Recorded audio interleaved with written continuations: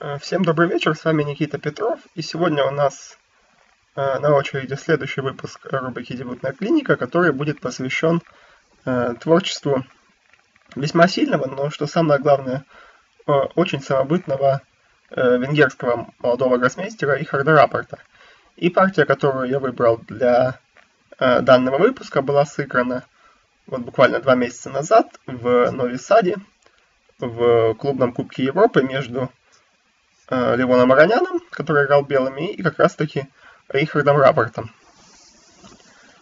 Э, ну и думаю, что многие из вас знают, что Рихард известен тем, что э, зачастую применяет не самые, скажем так, корректные дебюты, или, по крайней мере, те начала, которые не пользуются очень хорошей репутацией. Вот и в данной партии он избрал защиту Чегорина. Не то чтобы этот дебют был совсем слабым, но, по крайней мере, сильные шахматисты на постоянной основе его не играют. Последовало конь c3 и конь f6. Но и вот тут уже первый интересный нюанс. Дело в том, что с большим запасом основным ходом здесь является dc.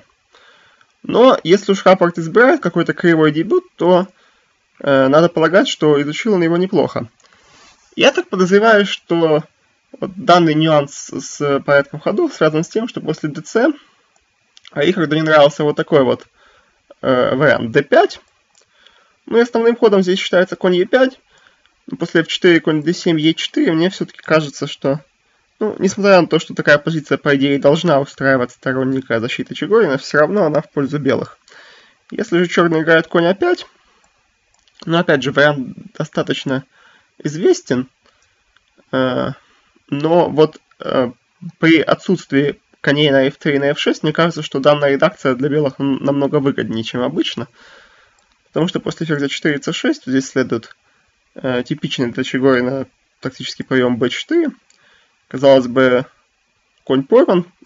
Понятное дело, что черные могут взять пешку на проходе, но после АБ принципиально ситуацию это не улучшает.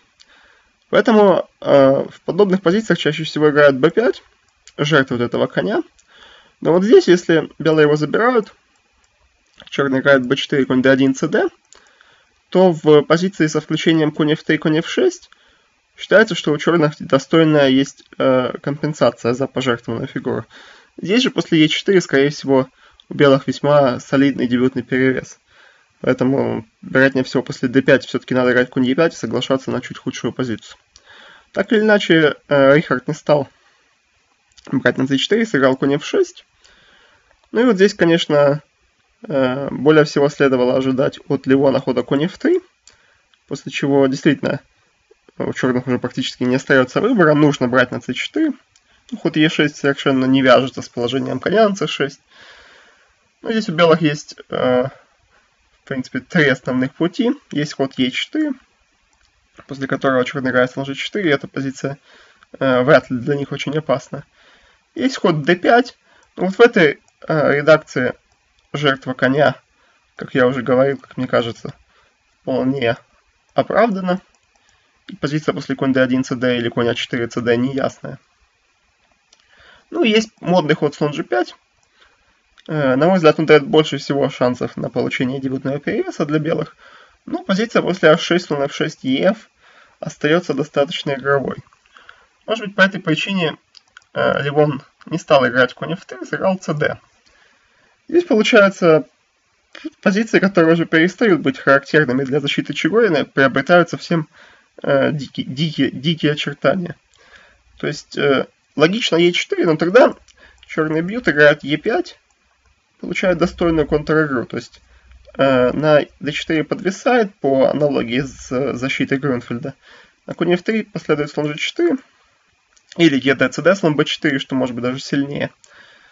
А, если же d5 запирает центр, то конь просто уходит на b8.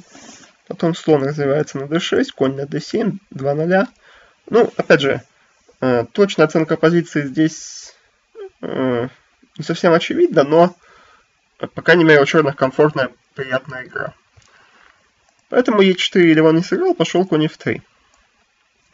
И вот здесь, казалось бы, перед черными встают довольно тяжелые проблемы. Э, понятное дело, что план белых все равно так или иначе связан с тем, чтобы провести Е4. Э, но сейчас хоть черных, и им необходимо что-то дел- что делать. Если избрать какой-то вялый ход вроде Е6, то очевидно, что после Е4 у белых очень солидный перевес. Мне кажется, с э, позиционной точки зрения почти решающий. Если же попытаться получить позицию, характерную для Грунфельда, то опять-таки это удается, но не совсем. Белый играет Е4, конь c3, bc, но и после слон G7 похоже на Грунфельд, то конь c6 расположен неудачно, потому что черные лишены подрыва c5. Опять-таки у белых здесь солидный перевес. Но рапорт нашел, ну или скорее всего знал здесь решение, которое вполне соответствует его стилю. Он сыграл Е5. Такой вот интересный гибрид какого-то будапештского гамбита и защиты Чегорина. Белые на самом деле должны принимать вызов, потому что э, Е4 э, конь c3 bc ведет к примерно тому, что мы уже обсудили. То есть белые забрали пешку, слон b4. И вот несмотря на то, что э, очень часто Рихард э, со своими дебютными экспериментами заходит слишком далеко, э, в данном конкретном случае мне кажется, что такой дебютный выбор был вполне оправдан, и вот данная позиция вполне, вполне приемлемая для черных. И, возможно, белым все-таки стоит играть не cd четвертым ходом, а именно конь f3. Так или иначе, в партии Аронян избрал слон d2, э, конь c3 bc и слон a5. Дальше стороны, по крайней мере, черные завершили развитие, про белых этого сказать нельзя, белые были заняты э, другими вещами, но, в принципе, их можно понять. Э, в данный момент у белых лишняя пешка, но структура уже несколько раздроблена. То есть, если черным удастся без каких-либо помех э, просто отобрать эту слабую пешку на e5, а защищать ее очень тяжело, то, скорее всего, получится какой-то эндшпиль, в котором э, лучшие шансы именно у черных, потому что и пешка c3, и пешка a2 будут э, в некоторой степени слабы. Именно поэтому после ферзь e7 э, Ливон здесь воздержался от э, простого развивающего хода слон c4, хотя объективно, скорее всего, стоило сыграть слон c4 после слон e6. Ну, у черных есть комфортное равенство, но, наверное, не более. Ливон же сыграл h4, попытался наладить какую-то активную игру на э, королевском флаге, но ход оказался, э, ну, по крайней мере, не сильнейший. С другой стороны, помимо этой абстрактной идеи наладить игру на королевском фланге, здесь был и конкретный, конкретная задумка. Э, на ход ладья 8 с целью отыграть пешку на e5, э, видимо, армянский шахматист задумал слон c4, пока брать на e5 нельзя. Опять же, логично ответ слон e6. И вот здесь белые могут оправдать положение пешки на h4 путем конь g5. Опять-таки брать на e5 нельзя из-за того, что висит на f7. Приходится отступать. И здесь ферзь e4. Висит мат на h7. Приходится играть g6 и теперь f4. Ну и вот видно, что пешка на h4 стоит не просто так. Она готова пойти на h5. В принципе, данная позиция выглядит для черных довольно угрожающе. Другое дело, что компьютеру все равно все ни по чему, он пишет F6 и считает, что э, позиция неясна. Э, тем не менее, э, Рихард здесь э, нашел даже более сильную идею, которая опять-таки полностью соответствует его стилю. Он играет F6. То есть, э, казалось бы, вся игра черных здесь э, зиждется на том, чтобы отыграть пешку E5 и получить э, инициативу, связанную с пешечной структурой, с лучшей пешечной структурой. И вот э, рапорт совершенно меняет планы, меняет слабость белых и начинает конкретную э, фигурную атаку белого короля. Ну, белые не могут игнорировать ход f6. На самом деле, практически обязаны брать. Ладья f6, ферзь c4 шах. И вот здесь очень, очень э, сильное решение со стороны э, венгерского юниора. В принципе, решение не такое сложное, но тоже далеко не каждый гроссмейстер его бы здесь э, принял. Белые только что убрали своего ферзя э, из-под нападения и заодно дали шах. То есть, казалось бы, очень логично продолжить развивать инициативу, нападая на этого ферзя. Но после хода слон e6 ферзь неожиданно э, занимает очень сильную и неприступную позицию на поле e4. В дальнейшем белые либо развивают слон d3 с идеей э, создать какую-то инициативу на королевском фланге, либо просто ставит слон на c4, меняет белополов, и в дальнейшем их лишняя пешка может начать сказываться. Поэтому вместо довольно слабого хода слон Е6 э, рапорт сыграл здесь король H8. И вот э, неожиданно оказалось, что несмотря на то, что черные пока не напали на белого ферзя, ему все равно придется делать э, ходы, потому что ну, ферзь на c4 расположен ужасно.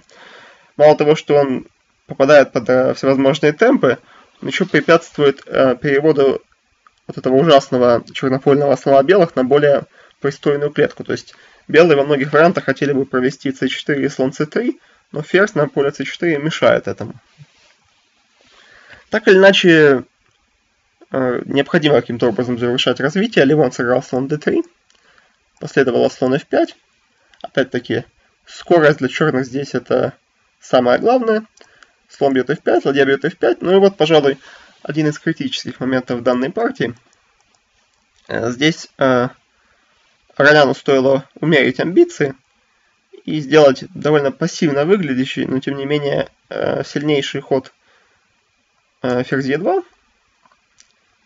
Ну, может быть, белым не понравилось, что после ладья, а ладья на f8 инициатива становится угрожающей. На самом деле, плановый ход c4, и у белых появляется вот эта идея слон c3, о которой я говорил.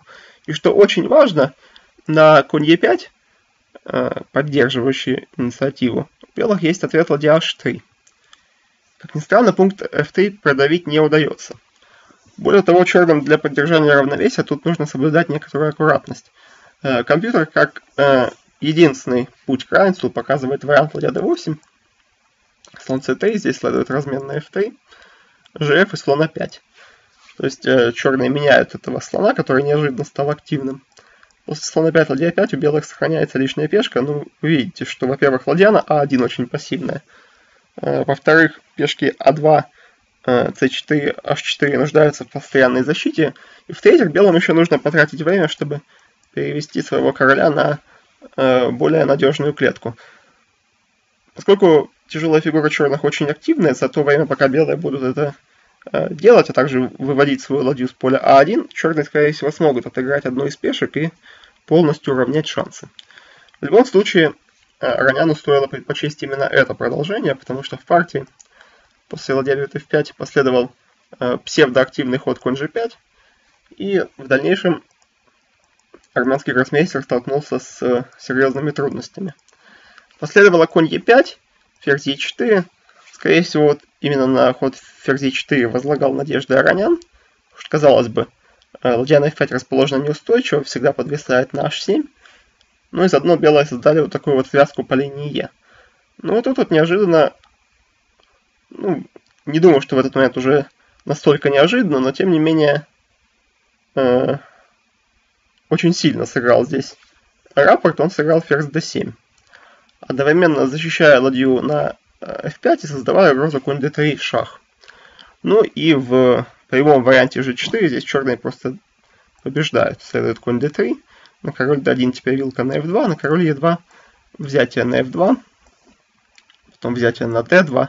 Таким вот вскрытым ударом черные забирают ферзя легко побеждают. Поэтому после ферзь d7 я уверен, что после Э, довольно корыстных и продолжительных раздумий, Аронян сыграл 2 0. Казалось бы, логичное действие. Белый король на e1 был расположен плохо, э, на g1 он защищен лучше, но есть и существенные недостатки. Во-первых, несмотря на внешнюю э, опасность положения короля на e1, все-таки он в какой-то степени защищен пешками f2, e3. Ну, что намного важнее, Э, после того, как э, белая ладья уходит с поля h1, э, очень во многих вариантах белых подводит то, что пешка на h4 теперь защищена недостаточно хорошо. Ну, вы, собственно, увидите, как это будет сказываться в дальнейшем. Рапорт, безусловно, знаком с классическими образцами атакующей игры, поэтому я уверен, что ход, который подводит в игру последнюю фигуру, здесь не потребовал от него никаких э, серьезных усилий. Ладья 8 уже угрожает конь f3, приходится убирать ферзя на c2. Важно брать его именно на c2, чтобы, по крайней мере, э, черным создавали какие-то проблемы, вот эти угрозы по диагонали b1, h7. Но все равно следует h6. Оказывается, что конь на g5 не удерживается. Конь e4, ладья h5. вот то, о чем я говорил, начинает сказываться то, что белых нет ладьи на поле h1. Защитить пешку на h4 невозможно, то есть g3 здесь явно себе дороже. Последует ну, ладья h4, конь f3 или ферзь g4 практически в любом порядке, белые просто получают мат. Поэтому э, Ливону пришлось отдать э, ту пешку, которую он выиграл еще на шестом ходу, и примириться с тем, что позиция белых здесь довольно тяжелая. Конь g3, ладья бьет h4, ладья а на d1. Ну и вот здесь вот Венгер делает еще один вкрадчивый в то же время очень сильный ход ладья f8. Оказывается, что белые не могут э, решить свои проблемы. То есть, ну, у черных есть различные комбинации угроз. Ферзь g4 и конь f3, пожалуй, главная из них. Э, пришлось играть слон c1, ферзь g4 и ладья d5. Ну и для тех, кому, собственно, интересно, как в дальнейшем продолжалась партия, э, я порекомендую просто э, промотать видео примерно на 2-3 минуты вперед, но я пока сделаю небольшое э, лирическое отступление, которое, в принципе, тоже касается этой партии. Дело в том, что мне довелось принимать участие в том же турнире, в котором была сыграна партия, которую мы сейчас разбираем. Так получилось, что матч моей команды, а также моя собственная партия завершились вот примерно в тот момент, когда в партии Ароняна Раппорта было сделано 25 ходов. И в э, холле гостиницы, в которой проходили, проходил турнир, э, был установлен большой монитор, на котором э, проводилась прямая трансляция ну, партии из тех матчей, которые проводились как раз таки на digital досках. И вот в этот момент как раз таки я кинул взгляд на эту позицию. В принципе, не сильно удивился тому, что у Рапорта такая шикарная, э, шикарная, атакующая, шикарная атакующая возможности. Но примерно за секунд, наверное, 15-20 я увидел здесь несложный тактический удар ферзь бьет g3. Э, Рихард же серьезно задумался, и в какой-то момент мне уже стало ну, очень обидно. То есть я понимал, что, скорее всего, Венгер не видит хода ферзь бьет g3, потому что он его не исполнял. Э, прошло примерно 15 минут, и в конце концов рапорт сделал ход ферзь g5. Ну, если честно, настолько меня это расстроило, что практически сразу я э, покинул, э, скажем так, игровую зону и отправился к, к себе в номер. На самом деле, конечно, тут все далеко не так просто. Дело в том, что удар ферзь g3, который вот я э, видел вживую, действительно проходит, и действительно ход очень красивый. Но в то же время не сильнейший. Э, дело в том, что после ферзь бьет g3 белые отвечают fg, ладья h1, король h1, ладья f1, король h2. Конь g4, король h3, конь f2. Действительно, теперь, если э, белый король уходит на h4 или на h2, то следует очень красивый задачный мат ладья h1. Тем не менее, у белых есть ход ферзь бьет f2. Ну и вот так получилось, что после ладья бьет f2 я, в принципе, оборвал свой расчет, потому что, казалось бы, черные, во-первых, отыграли пожертвованную пешку, во-вторых, только посмотрите на, струк... на пешечную структуру белых. У них 5 пешек, из них 2 изолированные и сдвоенные, и все без исключения изолированные, все очень слабые. То есть э, я без особых сомнений оценил этот эншпиль как э, легко выигранный для черных. Э, венгерский шахматист явно же в тот день был в ударе, и он проник в тонкости позиции значительно глубже. Дело в том, что белый делает ход слон d2. Важно именно слоном пойти на d2, потому что любой слоновый, чисто слоновый эншпиль проигран. Но ведь неожиданно, несмотря на такую ужасную пешечную структуру, эта позиция не так проста. По крайней мере, движок считает, что э, перевес черных здесь меньше, чем э, одна пешка. И не исключено, что черных просто не выиграно, но у белых есть серьезные шансы на спасение. Тем не менее, конечно, помимо отличных счетных способностей, нужно еще и э, огромную силу воли, чтобы увидеть ход ферзь g3. Но очевидно, что теперь для меня очевидно, что рапорт видел ход ферзь g3 и все равно отказаться от него. Последовал более сильный ход ферзь g5. То есть черные не спешат менять огромное количество фигур, не спешат портить сопернику структуру и продолжают играть на атаку. В данный момент создана угроза конь f3, после чего теряется ладья на d5. есть у белых не такой большой выбор. Э, в принципе, Ливон здесь сделал сильнейший ход ферзь Е2. С идеей на конь F3 просто ответить ферзь F3 неожиданно побеждают уже белые. Но я приведу такой небольшой иллюстративный вариант. Он, конечно, совершенно не вынужденный. Более того, э, ход ладья d1 на самом деле значительно слабее, чем ферзь e2. Но просто у черных здесь очень красивый выигрыш. Наверняка он не единственный, но, по крайней мере, то, что рекомендует здесь движок, это ход ладья h5. Ну, мало того, что черные добровольно подставляют ладью под бой, так еще не совсем понятно, зачем вообще этот ход был нужен. На самом деле, если приглядеться к позиции, то идея выясняется. Ну, начнем с того, что брать ладью нельзя, потому что следует конь f3 и просто ферзь h5 мат.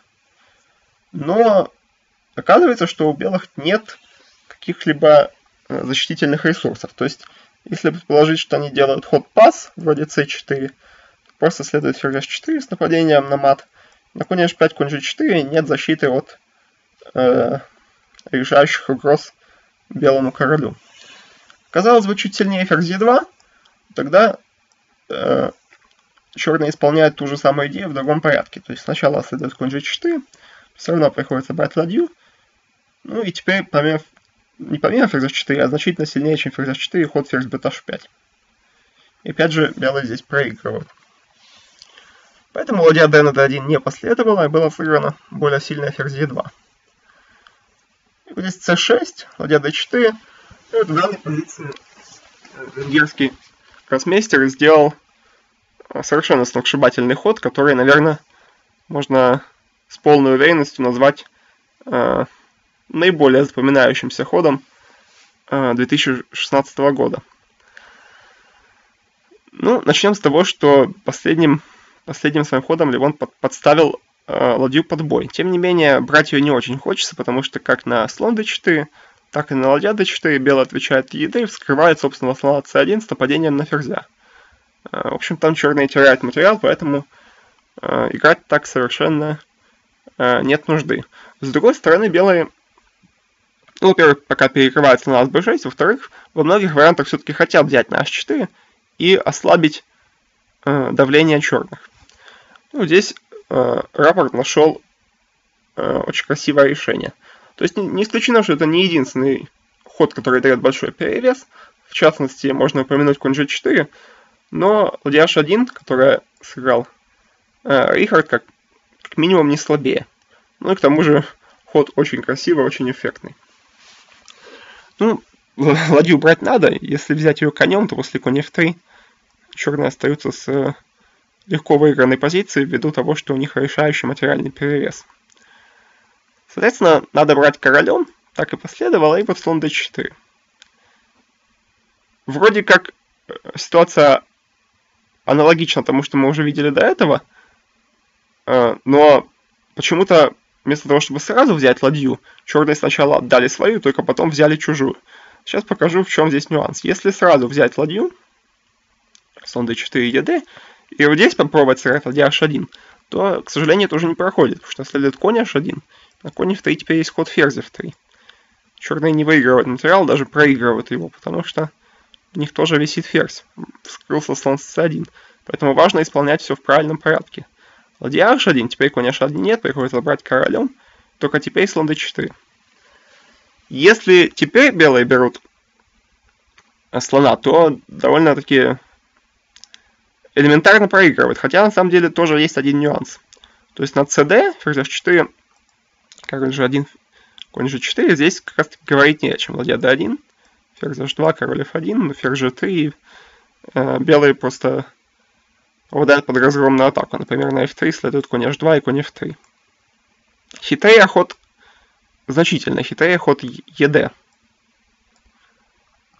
Опять же, надо играть ферзь h4, король g1, конь g4, ладья e1. Ну и вот э, ферзь h2, Казалось бы, все то же самое. Король f1, ферзь g3. Здесь выясняется разница. Белые взяли на d4 именно пешка и теперь у них есть поле для слона. И вот несмотря на то, что позиция черных кажется совершенно подавляющей, в принципе таковой является, здесь, а, чтобы выиграть, нужно проявлять некоторую точность. Вот, например, на логичный ход ферзь h4, создавая угрозу мата в один ход, после f3, как в это не трудно поверить, позиция уже ничейная. То есть даже не равная, а просто ничейная. И черные во избежание худшего должны давать вот такой вот занимательный вечный шаг. То есть ферзь 4 выпустила здесь победу. Выпустила бы. А, ну, а ход, который совершенно точно за черных выигрывает, ход ладья f6. Опять-таки, нюанс тут такой. А, в данный момент белые находятся практически в стуксванге. То есть ладью убирать нельзя, подвисает слон. Слона убирать нельзя, подвисает на f2. А, ферзя тоже убирать нельзя, ну, в частности, потому что будет конь h2, конь f3. Если уже брать его слишком далеко, то опять-таки подвисает слон. То есть надо ходить пешками, но ход ладья f6 был сделан не просто так. На c4, ну, например, на c4, на a4 последует то же самое, следует ферзь h4, и теперь э, разница на самом деле огромна. Потому что после f3 конь h2, не ферзь h1, а именно конь h2 сразу. Король g1, конь f3 шах, черные побеждают ввиду того, что их ладья через g6 подключается в атаку. Э, следует gf, ладья g6, король f1, ферзь h1, ну и очень важно, что ладья подключается на житах, как я уже сказал, и белые получают мат. Поэтому забирать ладью никак нельзя, и Аронян здесь сделал один из самых упорных ходов, который компьютер выводит на ну, то на первую, то на вторую линию наряду с э, ходом король g1. То есть можно было сыграть король g1, после слон b6 у черных очень большой перевес, но белым удается, скорее всего, сменять ферзей. Получается такой эндшпиль, в котором у черных все фигуры более активны и также лучше пешечная структура. Тем не менее, э, для того, чтобы победить, здесь еще пришлось бы э, показать э, очень хорошую технику. Ну, ход f3, который э, сделал э, Ливон, тоже ставит перед черными не самые простые задачи. То есть э, коня пока брать невыгодно, потому что по-прежнему висит слон. Э, рапорт здесь убрал слона на b6. Ну, совершенно очевидно, что э, пешка на c3 не стоит того, чтобы ее брать, потому что белая там резко активизируется, а пешка в, любом случае очень слабая. Слон на b6 расположен намного активней. Последовало конь e4, ферзь h5, король g1. Ну, вот, может быть, чуть ли не единственная неточность венгерского гроссмейстера за всю партию, хотя она э, никоим образом не повлияла на результат, но все-таки, опять-таки, э, электронный подсказчик здесь указывает, что самым точным решением был ход ладья f4, продолжая использовать всевозможные связки. Ну и вот э, компьютерный вариант наверняка выглядит для большинства из, из вас довольно странно, и для меня он тоже не совсем понятен, но тем не менее продолжается следующим образом. Ладья f4, король f2, ферзь f7. По-прежнему ладья неприкосновенна. Король e1, вроде бы король убрался из опасной зоны, теперь ладья h4. Опять-таки выглядит так, что черные фигуры пошли слегка не в ту сторону. Тем не менее, э, вот движок утверждает, что в этой позиции у черных очень большой перевес. Наверное, оно так и есть. Все-таки фигура белых расположена еще хуже, но по-человечески это было совершенно не очевидно. Рапорт сделал более естественный и все равно достаточно сильный ход слон c7. Ну, то есть он понял, что скорее всего на диагонали а7 g1 уже ничего серьезного э, добиться не получится. Ход ладья f4 он э, или вообще не стал рассматривать, или недооценил. Ну, решил, что слону место на другой диагонали.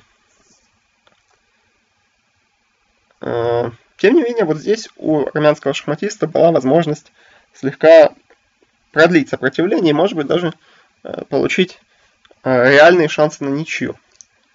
Необходимо было сыграть слона 3, после чего сильнее всего за черных ладья d8. Ну и, скорее всего, Аронян даже рассматривал этот вариант и продолжал, продолжал его естественным ходом ладья d1. И не удивлюсь, если он увидел опровержение этой операции, а именно конь f3. Теперь на ферзь f3 стоит ладья d1 с решающим материальным перевесом, а на gf красивый удар ферзь h2. После чего приходится брать ферзя. Черные сначала забирают ладью в промежутке. После король g2 забирают ферзя, приходится брать на h2. Теперь ладья a1. На короткий миг у белых все с точки зрения материального соотношения неплохо, но черные сейчас заберут пешку А2, После этого их пешка А очень быстро побежит в ферзи. То есть на самом деле эта позиция совершенно проиграна для белых. Э, возможно, этим руководствовался Аронян, когда отказался от хода слона 3. На самом деле, после слона 3 ладья d8 был более, более, было более сильное продолжение c4. И на конь d3 здесь просто g3. Как ни странно, у черных нет какого-либо решающего продолжения атаки. То есть у них э, остается позиционный перевес, но до победы здесь еще очень далеко. Может быть, не стоит играть конь d3, чуть сильнее э, тихий позиционный ход b6. Ну, который, во-первых, фиксирует слабость на c4, во-вторых, готов... во-вторых, не пускает коня на c5 или слона на c5. Кстати, второе даже важнее, потому что слон мог перескочить э, на поле d4 во многих вариантах. Ну и также черным не помешает иметь возможность c6, c5 во многих позициях. Перевес у венгерского шахматиста здесь сохранялся бы довольно большой. Э, тем не менее, король f2, который избрал э, в этой позиции, Аронян оказалась намного слабее, последовало ферзь h2. Теперь для белого короля уже нет пути обратно. Ну, а черные, на самом деле, готовы разными способами тревожить белого короля. Один из них это ладья d8 и конь d3. Э, единственным шансом продолжить сопротивление за белых был ход f4. Опять-таки у черных здесь по-всякому солидный перевес, но э, наиболее четкое решение это ладья e8. Опять-таки слегка противоестественный ход. Белые добровольно уводят э, ладью с той вертикали, на которой она связывала пешку f. Но, с другой стороны, определенная логика тоже есть. Теперь пешка f4 довольно надежно защищена своей компаньонкой с пешкой с, с поля e3. А вот э, как раз таки по вертикали e появились, появились определенные слабости. Опять же, пешка e3, но также еще и в момент конь на e4, ну и в частности поле e4. Но конкретное обоснование в том, что после fe э, ферзь 4 материал отыгрывается, но э, позиция белых здесь просто рассыпается. Поэтому можно сделать вывод, что f4 тоже вряд ли спасло бы э, армянского гроссмейстера, но последовало король e1. Скорее всего, Аронян просто зевнул от ладья d8, тут оказалось, что защиты никакой нет. Э, возвращаться на f2 поздно, то есть пришлось играть слон d2, конь d3, король d1. Вроде как белый король убегает подальше от э, черного ферзя, который доставлял много неприятностей. Но ферзь фигура очень мобильная, и посмотрите, как он быстро переносится на другой фланг. Последовало ферзь e5, g4. В принципе, ход ничем не лучше и не хуже любого другого. Может быть, у Ароняна все еще были какие-то надежды создать контр-игру путем g5, хотя верится в это с трудом.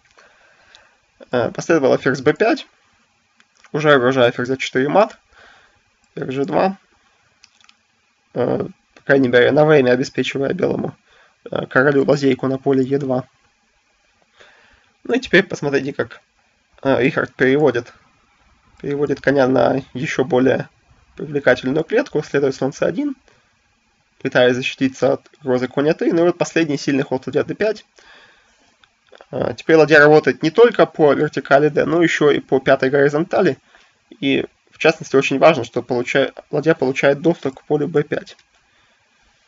Ну тут никакой защиты у белых нет, еще последовало g5. Конь a5. Помимо ферзя 4 теперь у черных есть идея ферзь d3. Ну, идея очень серьезная, потому что после, например, э, ферзь d3, король куда-то, ладья b5, получается мат на поле, ну или на поле b1, или в случае короля 3. Э, где здесь, кстати, мат? Довольно интересный вопрос. А, вероятно, после короля 3 получался э, вот такой мат, очень красивый, кстати. Ну, Э, не могу сказать, что так очевидно. Может быть, может быть, кстати, Ливону стоило попробовать именно в этот вариант пойти. Хотя, скорее всего, конечно, у черных есть и другие, другие матовые конструкции. Да, например, наверное, можно же все это сделать, да, просто в другом порядке, значительно менее красиво, но ничуть не менее эффективно. В общем, так или иначе, не стал брать на H6 э, армянский гроссмейстер. просто сыграл слон d2. Ну, после ферзь d3 с той идеей, чтобы отступить на поле d1. Но после конь c4 оказалось, что у белых совершенно нет защиты от множества угроз со стороны черных. Самая простая из них это конь e3, и уже от нее защититься совершенно невозможно. Поэтому Ливон здесь признал свое поражение – ну и что можно сказать? Совершенно блестящее творческое достижение э, молодого венгра. Ну а вот э, Левон Аронян, я так думаю, что постарается об этой партии забыть как можно быстрее. В то же время я не думаю, что ему будет легко это сделать, потому что э, практически уверен, что в голосовании на лучшую партию 2016 года эта партия займет одно из наиболее э, высоких мест. Ну, а комментировал ее для вас Э, Никита Петров. Всем спасибо за внимание.